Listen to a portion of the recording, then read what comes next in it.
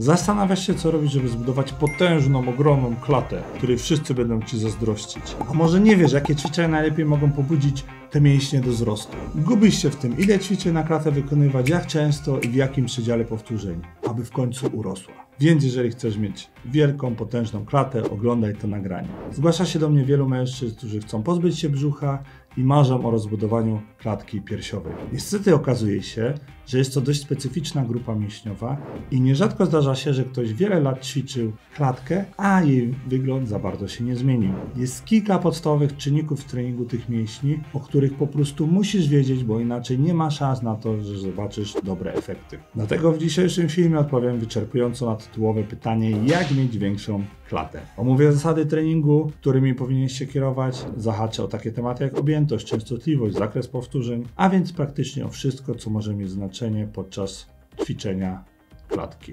Dodatkowo pokażę Ci 5 najlepszych ćwiczeń na klatkę i powiem Ci, jak je wykonywać. Zacznę od tematu objętości treningowej w kontekście klatki piersiowej. Żeby była jasność, objętość treningowa, tak w skrócie, to po prostu ilość wykonywanej pracy na treningu lub w ciągu jakiegoś okresu. Choć nie jest to idealny wskaźnik, najczęściej do jej określenia stosuje się po prostu liczbę wykonanych serii roboczych danego ćwiczenia. Możesz teraz dla przykładu zerknąć swój plan treningowy i podliczyć sobie liczbę serii na klatkę piersiową w skali tygodnia, bo na taki okres najczęściej się patrzy. No i właśnie na tej podstawie podstawie ocenia się, czy zastosowana objętość jest w odpowiednich granicach, czy może robić za dużo lub za mało. Pewnie od razu przychodzi Ci do głowy pytanie, jaki zakres jest w porządku. Tutaj nie ma sztywnej odpowiedzi. W treningu siłowym optymalny zakres to wszystko pomiędzy dwoma punktami krańcowymi. Pierwszy to MEF, minimum Effective Volume, czyli minimalna objętość treningowa, która gwarantuje minimalne efekty. Drugi to maksimum recoverable volume, czyli maksymalna objętość, której możesz się jeszcze zregenerować i czerpać profity.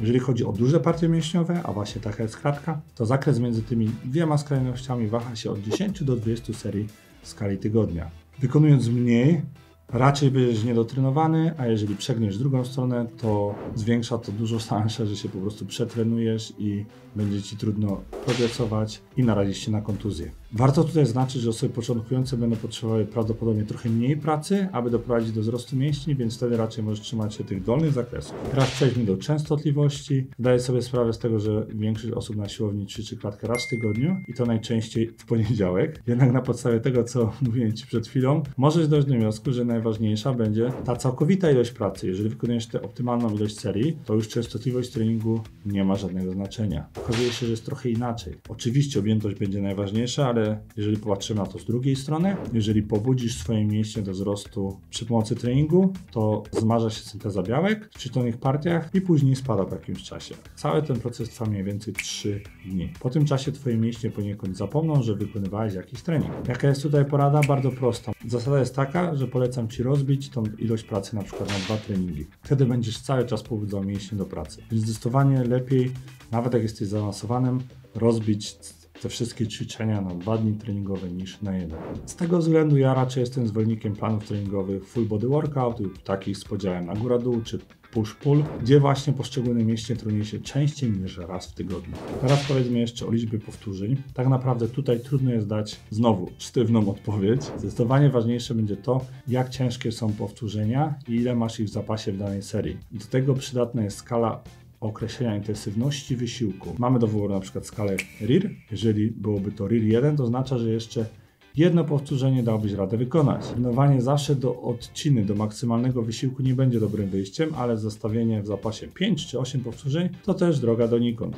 i oznacza, że był za niski ciężar. Więc w przypadku ćwiczeń wielostowowych celowałbym przedział mniej więcej 5-10 powtórzeń, natomiast jeżeli chodzi o izolację, to raczej zalecałbym większe liczby w granicach 8-15, ponieważ jeżeli izoluje się ruch, to powinien być wykonany bardzo dokładnie, technicznie, a przy małej liczbie powtórzeń i dużym ciężarze raczej będzie to ciężkie. Ok, przejdźmy teraz do polecanych przeze mnie ćwiczeń na rozbudowę klatki. Numer jeden Cię nie zdziwi, będzie to wyciskanie sztangi na ławce płaskiej leżąc. Czemu lubię tak to ćwiczenie? Ponieważ można użyć dużego ciężaru, przetrenować mięśnie klatki w trochę niższym przedziale powtórzeń. Jeżeli chodzi o kilka typów, które mogą Ci się przydać, to po pierwsze zadbaj o pozycję ciała, ściągnięte łopatki, wypchnięta klatka do góry, i mostek. Tu też warto zastanowić się nad pracą nóg. Są różne techniki pracy, fajną techniką jest leg drive, ale o tym może w bardziej zaawansowanych nagraniach. Przejdźmy do drugiego ćwiczenia, czyli wyciskanie hantli. Zasady są bardzo zbliżone y, jak do wyciskania sztangą. W tym ćwiczeniu fajne jest to, że możemy tutaj zrobić głębszy zakres ruchu niż przy wyciskaniu sztangi. Możemy zejść tutaj bardzo nisko, rozciągając i pobudzając mięśnie piersiowe do pracy. Te ćwiczenie też jest świetnie w różnego rodzaju dysproporcjach albo problemach podczas wyciskania sztangi. W przypadku hantli masz pełną dowolność, możesz złapać ją pod różnym kątem i dostosować swój ruch do swoich możliwości i preferencji. Według mnie najfajniejszym zakresem, jeżeli chodzi o ławkę skośną, to jest 20-30 stopni i na przykład 45, tak jest standardowe ustawienie, to już jest trochę za dużo. Następne ćwiczenie, o którym chciałem Ci powiedzieć, to pompki na poręczach. Jest ono świetne z kilku powodów. Nie musisz chodzić na siłownię, żeby je wykonać. Poręcze można spotkać w parkach czy na zewnętrznych siłowniach, albo kupić sobie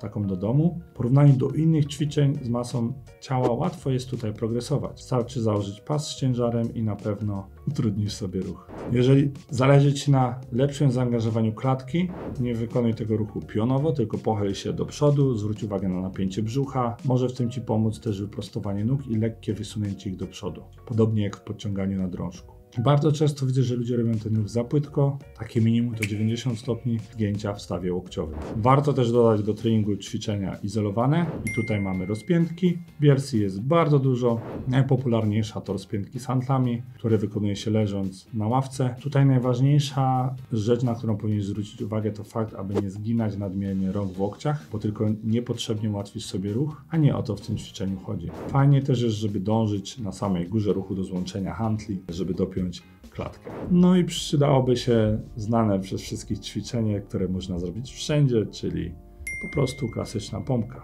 Ono jest szczególnie dobre dla osób, które nie chodzą na siłownię. I znowu, pompki można fajnie dostosować do poziomu zaawansowania danej osoby. Jeżeli jesteś początkującym i nie możesz zrobić zwykłej pompki, robisz taką na kolanach lub z rękami na podwyższeniu. Zwykłe pompki są dla Ciebie za łatwe, do wyboru masz przykład wariant przełożoną przez plecy gumą. W ostateczności możesz nawet położyć na plecy ciężar, skorzystać z odciążającej kamizelki lub włożyć ciężar do plecaka i też ten ruch sobie utrudnisz. Tak naprawdę jest wiele ćwiczeń, wiele wariantów, wszystko zależy od tego, co możesz robić, jaki masz sprzęt i na co masz ochotę. Jeżeli chciałbyś rozbudować klatkę, tak jak wielu naszych podpiecznych, to nic nie stoi na przeszkodzie. Zadbamy o Twój plan treningowy, dobór ćwiczeń, zwrócimy też uwagę na Twoje żywienie, bo w przypadku budowy klatki jest to kluczowa rzecz, ogólnie w przypadku budowy sylwetki. Więc wejdź na link w opisie, zobacz sobie jak możemy Ci pomóc, zobacz sobie te metamorfozy, te przemiany, to już są osoby, którym pomogliśmy, Ty możesz być następny, jeżeli tylko będziesz chciał. Daj znać jakie jest Twoje ulubione ćwiczenie na klatkę, czy robiłeś wszystkie z tych ćwiczeń, które tu wymieniłem, a może lubisz jeszcze jakieś inne ćwiczenia. Trzymaj się i do kolejnego nagrania.